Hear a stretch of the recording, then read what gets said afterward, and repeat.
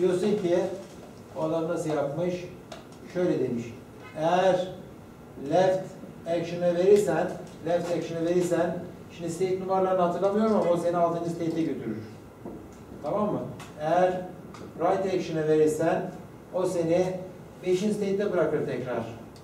Eğer sak şeyi verirsen, gerçi burada state'lerin de çok doğru olmadığı silgi Я Андрей Антонович, я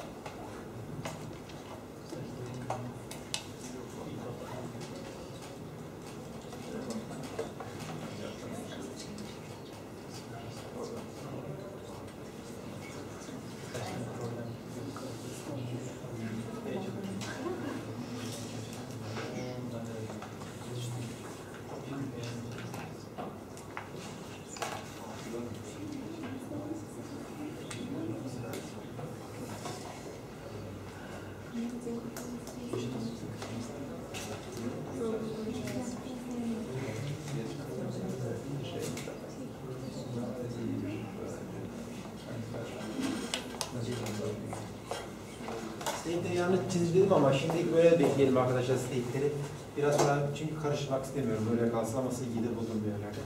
Sak dediği zaman da, sak dediği zaman da state'i değişmeyecek. 5 şeklinde kalacak. Bu sak deyince aklıma geldi çünkü state'in içerisinde sadece hangi kutuda bulunduğum değil. Hmm, yok, tamam doğru. Tamam güzel oldu bu.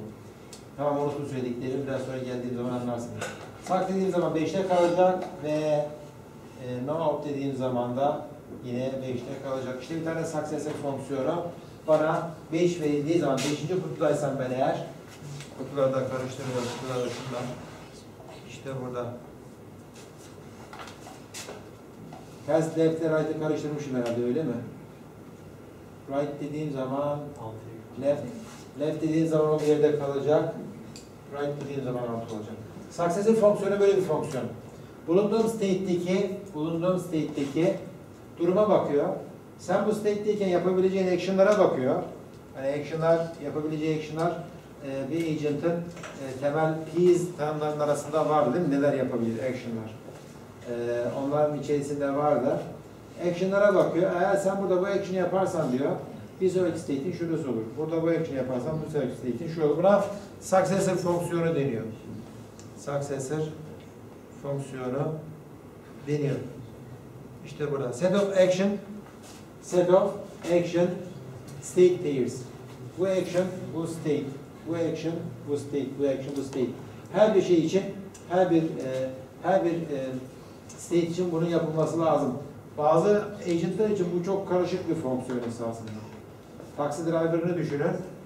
Yani adamın yapabileceği direksiyonu 0.1 derece sağa kırarsan bir sonraki state'in şöyle bir yer olacaktır falan filan gibi sonsuz sayıda state ve sonsuz sayıda şey içeren, action içeren e, bir tane e, successor fonksiyonuna benziyor. Orada durum çok karışık.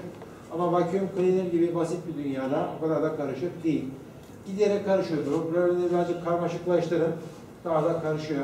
Satranç için nasıl bir şey olur burada successor fonksiyonu? Mesela state'in en başlangıçtaki state olsun. En baştaki state. Yani tüm e, taşlar yerlerine dizilmiş. Herkes satranç oynamasını biliyor mu burada? Bilmeyen var mı satranç oynamasını? Herkes biliyor mu? Cevap yok. Herhalde herkes biliyor diye düşünebiliriz. Çok basit. State'in bu. Taşlar burada dizili. Bu bir state.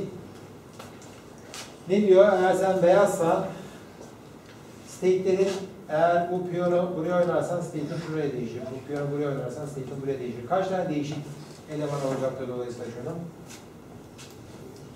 Kaç tane? 18 oynayan taş. 8 tane burada var. Hepsini oynatamıyorsun çünkü. 8 tane burada var. Onlar 8 16 tane buradan geliyor. Atlar da var. 16 artı 2 İşte 8 16 etti orası. Piyonlardan 16 tane geldi. Tamam. Dört tane daha. Dört 4 tane daha. var. 20. Karşı takımda sayıyorsunuz. Bir de ayrıca piyonlar... Karşı takımı saymıyorum ki sıra sende state. Benim state'im başlangıçta kim oynar? Beyaz oynar. Siyah oynamaz. Beyaz oynar. Dolayısıyla e, şey bu. Yani şu başlangıçtaki satranç oyununda başlangıçta e, successor fonksiyonu sana 20 tane şey veriyor. State action pair'i veriyor. Tamam mı? State action state pair'i veriyor. 20 tane. E, bir sonraki şey yine 20 tane verir değil mi? Bu adam da 20 tane verir. Ondan sonra yaklaşık zaten satrancın e, her bir şeyinde sanırım avaraj olarak 16 falan herhalde. 16 değişik e, şey yapabiliyorsun hareket. Avaraj olarak 16 tane. 16 tane değişik avaraj olarak şey yapabiliyorsun, hareket yapabiliyorsun. O da ne seni yeşil isteğiyle geçiriyor. Satranç dünyası hala taksi dünyasından çok daha basit bir dünya ama problem buraya baktığın zaman satranç çok karmaşık bir problem.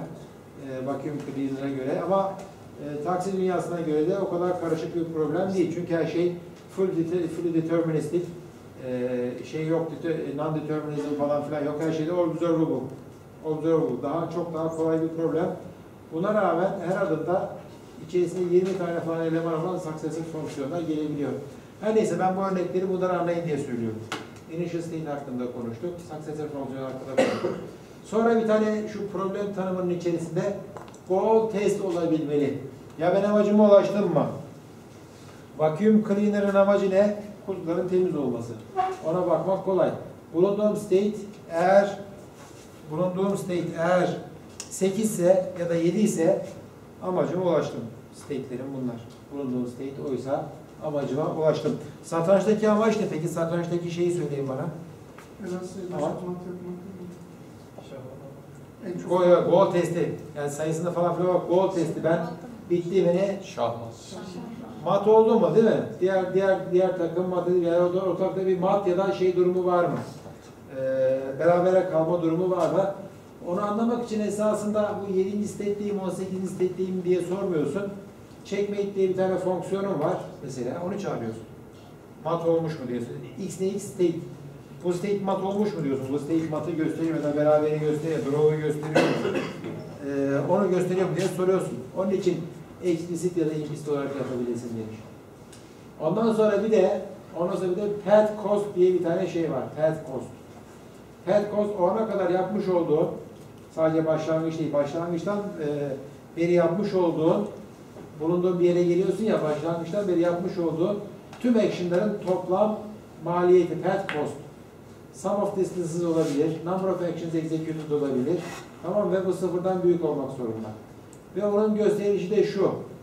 X state'inden Y state'ine A action ile geçtiğim zaman bunun cost'u step cost deniyor bunlara. Eğer şu ana kadar yaptığın tüm action'ları toplayıp state, state, state, step cost'ların üstüne koyarsan buna path cost deniyor. Path cost. Başlangıçta bu path cost sıfır olarak başlıyor. Sonra problemin içerisine ilerledikçe bu giderek artıyor.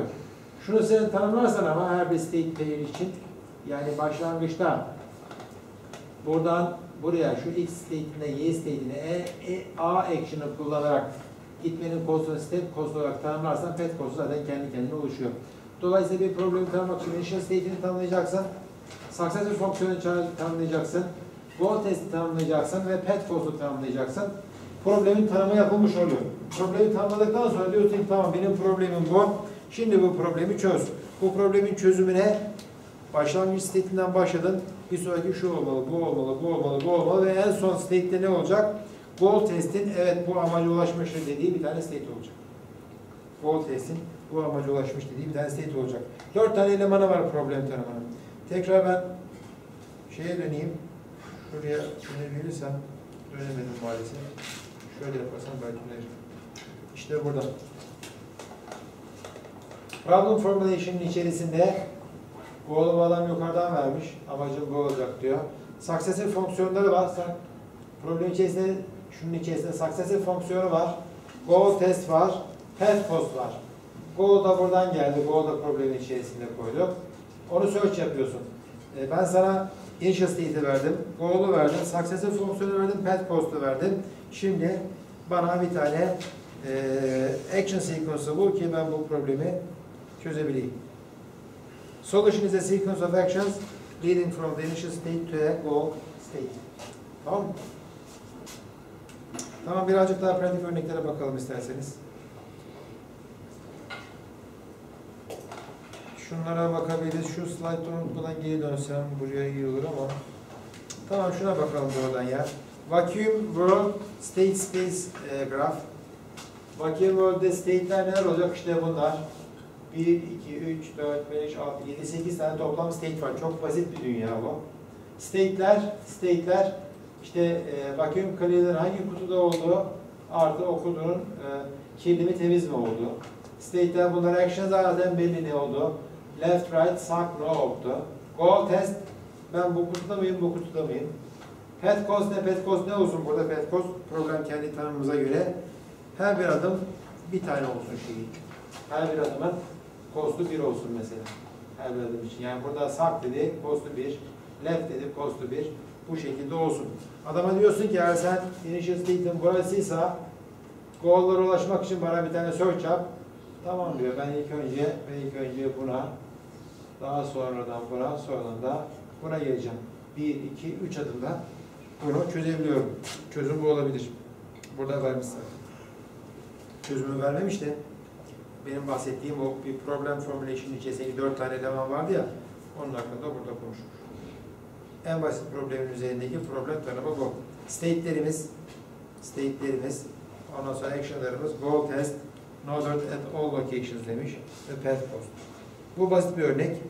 Başka bir tane örnek eight puzzle problemi. Bu problem bahsetmişimdir. Bu derste bahsettim mi bundan hiç? Bundan bahsetmedim herhalde. Bu şeye göre e, e, cleaner'a göre daha zor bir problem ama satranca göre daha basit bir problem. Biliyor musunuz bunun ne olduğunu? Eight puzzle küçük hani oyuncaklar falan satarlardı ya şu elinde bir tane şu rakamlardan şunlar kutular ya da kareler bunları oynatabiliyorsun şöyle iki aşağı gelebiliyor altı böyle. Amacı ne? Verilen herhangi bir e, konfigürasyona sıralı hale çevirmek. Bunun 101 dersinde falan ben belki Sınavda sorusu ödev vermedim mi? Ödev de vermiştim ben ya. Size, siz o kadar bildiniz mi ya? tamam.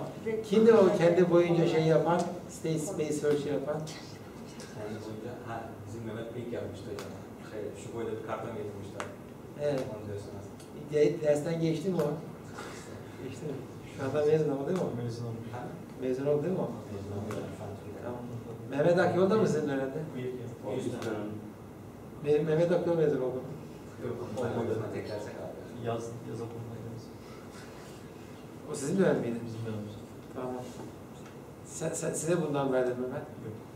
Genelde yüzmecilere buradan bir tane ödev falan verirdim ben. Bir, şeyler de yapar getirirlerdi. Tamam biraz sonra kendi boyunca kartonda bir şeyler yapmış, onu unutturma. Ne yaptığını size söyleyeyim. Ee, şey bu, eight puzzle problemi bu. State'lerimiz hangisi state'lerimiz? İşte tahtanın konfigürasyonu. Bu bir state mesela. Bu da bir state. Bu güzel bir state. Go state'imiz. Bu da start. Buradan başlamış. Herhangi bir yerden başlayabilir. Vacuum cleaner gibi 8 tane state'ten falan oluşmuyor. Kaç state'i var bunun? Kaç tane state'i var bu şeyin? Dört. Aşağı Dört actions. Dört action var. action var. Dört güzel action'dan baş. Kaç action var? Sanki boşluğu hareket ettiriyormuş gibi düşünün değil mi? Boşluğu böyle çekebilirim, böyle çekebilirim, böyle sağ sol yukarı aşağıya. Bazen boşluk şuradaysa mesela e, yukarı çalışmaz, sol çalışmaz ama olsun. Vacuum cleaner'ı da var. Dört tane action'ım var. Güzel. Kaç state'im var? Hayır.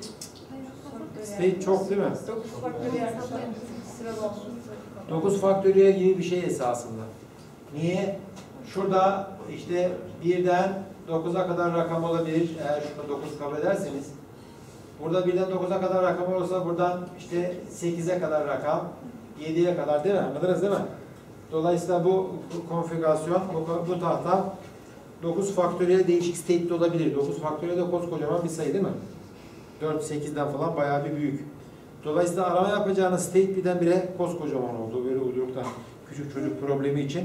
Ama kimse de ben, ben şu sınıfta şuna bakıp çözümü görüyorum diyebilen var mı? Yok olmaması lazım. Değil mi? Baktığın zaman çözümü görüyor ama ne yapıyor? Ben prosedürün birisine verdiğim zaman ya 7 oraya yakışmamız, 7 aşağı ineyim falan filan. İnsan genelde böyle başlıyor. Biz öyle yapmayacağız ama. Ee, bizim amacımız ne? Şu start state'e bakıp oradan bir tane action sequence'ı çıkarmak. Şunu yap, şunu yap, şunu yap, şunu yap, şunu yap. 7 adımda, 7-8 adımda sonuca gidebilesin diye. Tamam mı?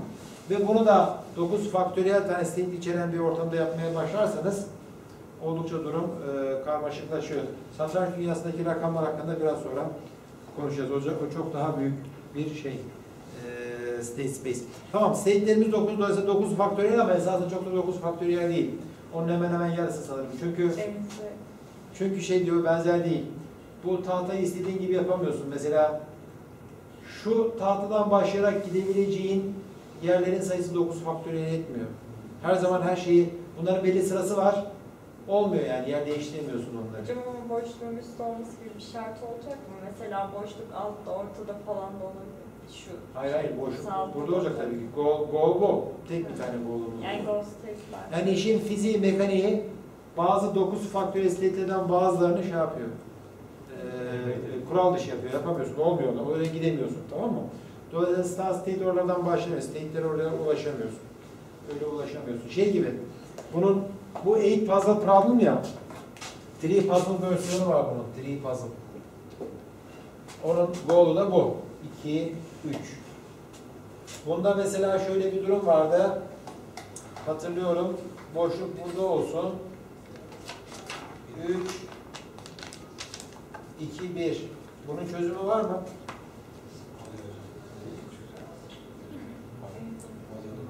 Zaten bu da yedi işi sadece canı dolaştırabiliyorsun değil mi? Bunun çözümü yok değil mi? Dolayısıyla yani e, bu, bu ne demiştik biz? Bu böyle olduğuna göre 4 faktöriyel olmalı mı demiştim? Bu 4 faktöriyel olmalı bunun state space'i. O kadar şey yok. E, o kadar state yok. Buna da baktığımız zaman upper bound 9 faktöriyel gibi düşün ama 9 faktöriyel kadar state yok. Biraz daha düşük. Yine de 9 faktöriyelle alakalı. Belki yarısı kadar falan herhalde. Tamam, goal testimizin ne olduğu belli. Şu olacak goal testimiz. Path cost ne olsun? Path cost'ta problemimizin tanımına göre neydi bu? Ne derler çocuklara bunu? En, en, en az adım kullanarak bunu çöz bakalım derler ellerine verdikleri zaman. Goal path cost'umuzda her bir action için bir olsun. Location of tiles state oluyor bizim. Location of tiles state. State'i nasıl ifade ederim ben burada? Birinci state, ikinci state, üçüncü state o pek güzel olmaz. Nasıl ifade edersiniz? Boşluğun yeri. Boşluğun. Boşun yeni state yer yok. Çok daha fazlasını vermen lazım. Elinde bir tane, elinde dokuzluk bir dizi var. Değil mi? Dokuzluk bir dizinin her bir elemanı farklı. Dokuzluk bir dizinin eee 1 ile 9 arasındaki rakamların dizilişi. Onun herhangi bir eee konfigürasyonu. Sana 9 faktöriyel tane state verir. Öyle bir presentation güzel olabilir. Actions'ın ne olduğu? Move blank left right up down. Biz tasarlıyoruz bunu.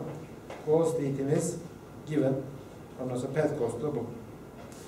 Bu arada bunun optimal çözümü optimal solution of n puzzle family yani bu 8 puzzle'dı ya bu e, te- e, three puzzle 15 puzzle'ı var bunun mesela bunun. Tamam mı? 15 puzzle'ı var. 24 puzzle var. İşte anladınız 35 puzzle var. Yapıyorsunuz. Onlara n puzzle problemleri deniyor.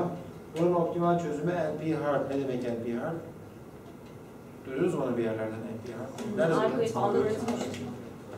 Sadece bahsediyor mu yoksa NP hard'ın tanımını yapıyor mu? Sadece bahsetti. Zor bir şey olduğunu söylüyor. Zor bir şey. Tamam. Bu zor bir şey değil. Ya keşke ondan bahsetseler ya. Az biraz bahsedildi ya. Yani bu biraz... Çözülerim. Bundan polinomial. Bunun, bunun, bunun çözümünü şöyle çok bunu burada söylediğimi kimseye söylemeyin çünkü tamamen yalan tamam mı? Kayıtlı. polinomial zaten kimsenin izlediği yok ki. yani geçen hafta kim bilir neler neler söyledim.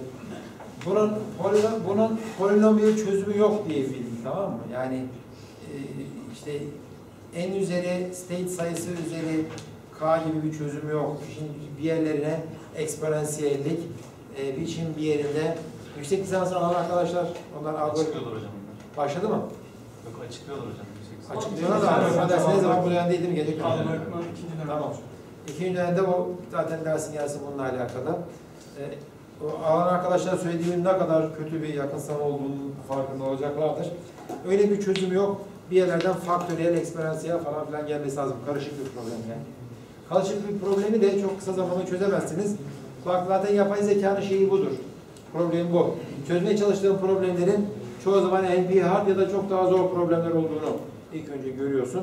Ondan sonra bunun üzerinde ben ne yapabilirim şeylerine başlıyorsun. Yakın safhalarına bakıyorsun. Başka bir problem buydu.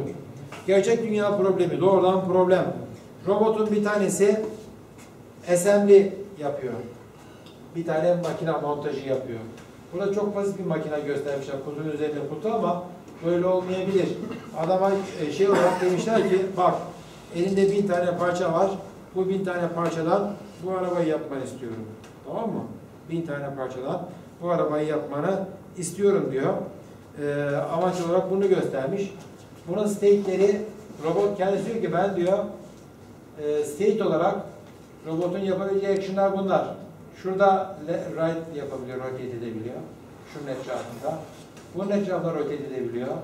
Bunun etrafında böyle ileri geri yapabiliyor. Şu eklem rotate olabiliyor. Şunu anladınız mı ne olduğunu?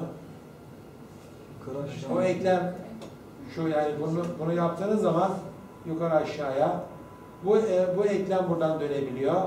Grab içinde bir şey koymamış artık. Demek ki dokunduğu zaman yapışıyor oraya. Tamam mı? Onun şimdi şeyini düşünürseniz yani state'lerini real valued coordinates of robot joint angles angles pa- parts of the objects to be assembled. Tamam mı? Robotun e, real valued angle'ları teker teker bunların angle'ları robotun state'ini veriyor. Bir de e, objenin parçalarının nerede bulduğu, onların pozisyonları. Onlar da önemli. Bu burada, bu burada, bu burada falan gibi şeyler.